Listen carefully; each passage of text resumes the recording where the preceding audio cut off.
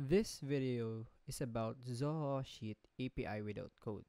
So after you log in, click View Marketplace.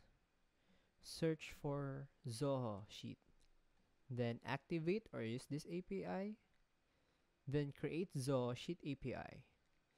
Here you need to authenticate or add another account. So after that, you need to give a name. Let's name it sample.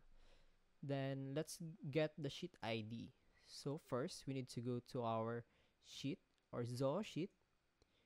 Here we need to look for the URL and after the open slash, this will be our code or sheet ID. So copy, then paste, then create.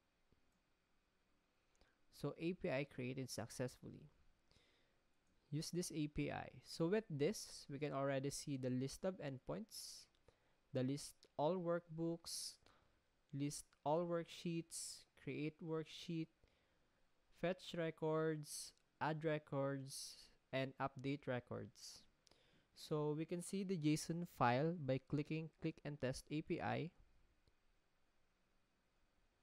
Here is the JSON file or we can copy this endpoint and paste it to a new tab.